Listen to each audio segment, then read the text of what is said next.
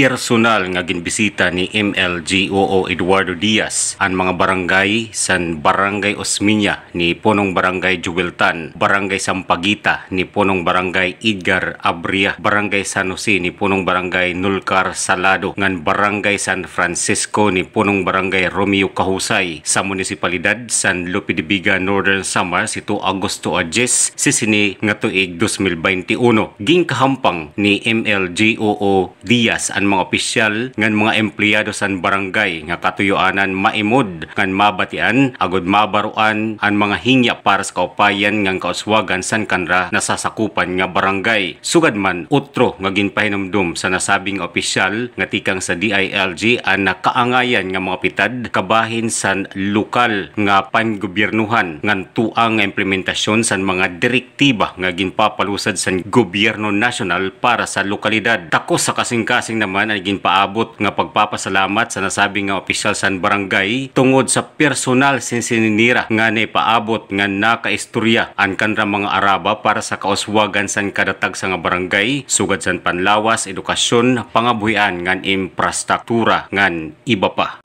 Ako si Eugene Montaño Inano, media partner tikang sa Northern Samar para sa Birada Tili Radio Reporting.